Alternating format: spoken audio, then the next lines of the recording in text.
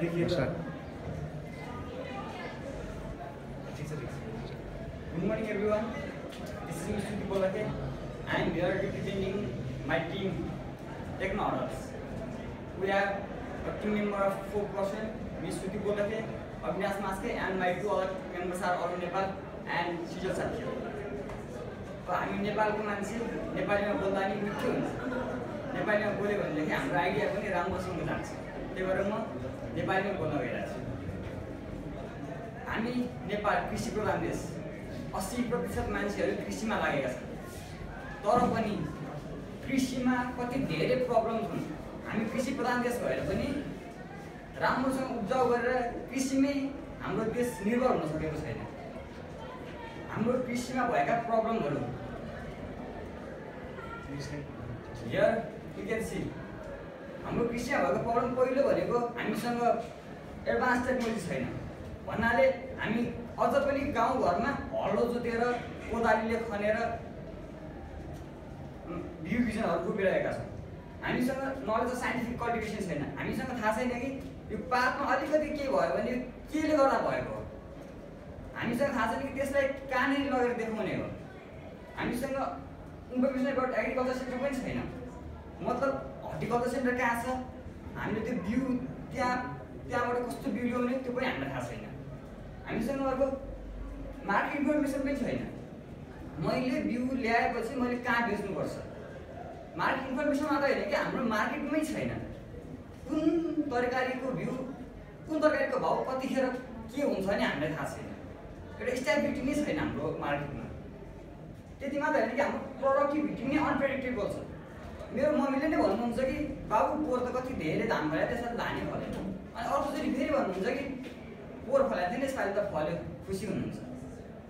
त्यसको मतलब के भयो कि उहाँहरूसँग साइन्टिफिकली कसरी तरकारी रोप्ने तरिकै थाहा छैन। अनि एकचोटि त्यसो भाग्यले दियो भने आयो भाग्यले दिएन भने आएन हामी हेर्न सक्छौँ कि धनियाँ पनि फलाउन नसक्ने हामी। हामीले धनियाँ नेपालमा फलाउन नसक्ने एउटा त सानो करेसा बारीमा थोरै ठाउँ रोप्यो भने पनि धेरै धनियाँ फलाउन सकिन्छ। तर पनि त्यो हामीसँग कृषि प्रधान देशको मान्छे तर पनि धनियाँसँग फलाउन सकेको छैन अब हामी हेर्न सक्छौँ कि तरकारी बेच्न चार घन्टा पैदल। यो धेरै टाढाको कुरा होइन कि एक भक्तपुरको कुरा हो।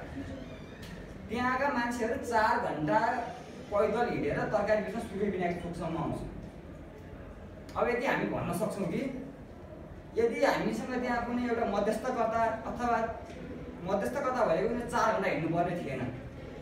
मैले एउटा मान्छे पठाइदिन सक्थेँ त्यहाँबाट उनीहरूको तरकारी लिएर सूर्य विनायक आउँछ हामीसँग भएका यी प्रब्लमहरूको सोल्युसन लिएर आएको छ हाम्रो एप्लिकेसन एग्रो नेपाल एग्रो नेपालको मेन अब्जेक्टिभ भनेको हाम्रो कृषि प्रधान देशमा भएका जतिसुकै फार्मरहरू हुनुहुन्छ अथवा नयाँ कोही आउ फार्मिङमा आउन चाहनुहुन्छ उहाँहरूलाई केही इन्फर्मेसन दिने हाम्रो एग्रो नेपाल भनेको एउटा एप्लि एउटा इन्फर्मेसन पोर्टल हो अहिलेको लागि तर फ्युचरमा भनेको हामी यसलाई एउटा कम्युनिटीको रूपमा पनि लगाउन सक्छौँ। हाम्रो मेन अब्जेक्टिभ भनेको provide information about appropriate crop according to the region हामी हरेक क्षेत्रमा कस्तो खालको तरकारी अथवा अरू कुनै फलफुलहरू लगाउन सक्छौँ भन्ने कुरा इन्फर्मेसन दिन्छौँ फर्स्टमा।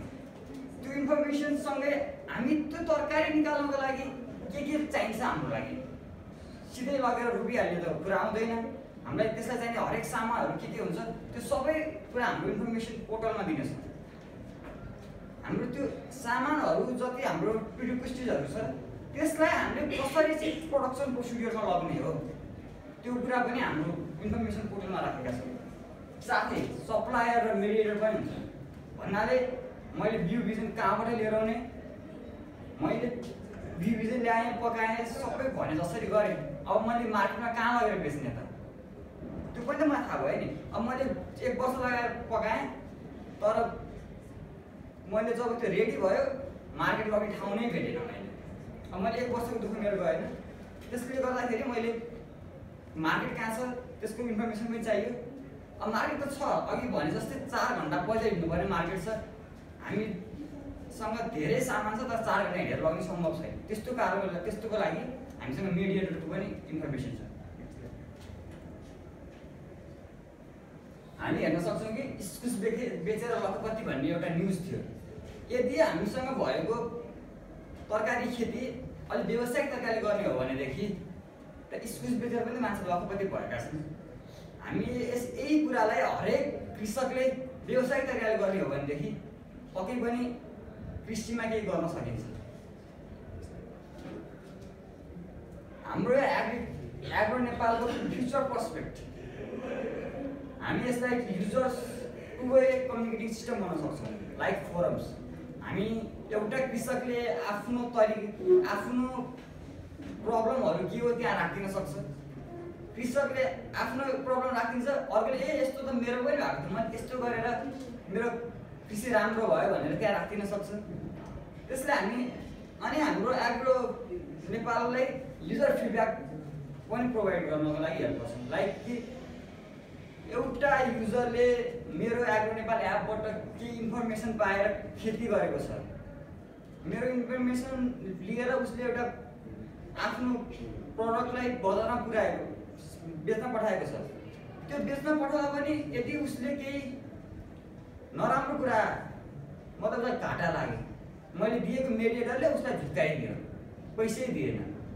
त्यो त मेरो इन्फर्मेसन पोर्टलमा दिएको इन्फर्मेसन रङ भयो नि त। मैले त उनीहरूको फाइदाको लागि बनाएको तर उनीहरू घाटामा गयो उनीहरूलाई नोक्सान पऱ्यो त्यस्तोको लागि पनि हामीले केही गर्नुपर्छ। त्यसको लागि हामीले फिडब्याक फर्महरू राख्न सक्छौँ। नेक्स्ट भनेको बिजनेस प्लान कृषि प्रधान देशमा हामी नयाँ टेक्नोलोजी नयाँ तरिकाको हाइब्रिड डिभिजनहरू प्रोभाइड गर्छौँ भने त्यसलाई हामीले एउटा बिजनेस निकाल्न सक्छौँ। लाइकवाइज कि हामीले साइन्टिफिक क्वालिफिकेसनमा ट्र्याक्टरहरू अनि आएर धान रोप्ने मेसिनहरू जुन अहिले आएको छ नि त्यसलाई हामी आफै सप्लाई गर्न सक्छौँ कि? अब हामीले मार्केट खोल्छौँ नि जब बिउ बिजन बेच्नको लागि तब त्यो मार्केट अरूको मार्केट किन? हामी आफै मार्केट पनि बनाउन सक्छौँ। तपाईँ आएर एउटा बिउ बिजन किन्नको लागि अर्काको पसलमा जा भन्ने होइन कि? तपाईँ मेरो पसलमा आउनुहोस् हामी त्यसो पनि भन्न सक्छौँ। यदि हामीले यो तरिकाले गयौँ भनेदेखि नेपालमा कृषिबाट धेरै नै उन्नति हुन सक्छ। यति हामीले गर्न सक्यौँ भने हाम्रो देशको कृषिलाई माथि हामीले जिडिपीमा रेमिटेन्स रेमिटेन्स होइन कि? कृषिमा छ हामी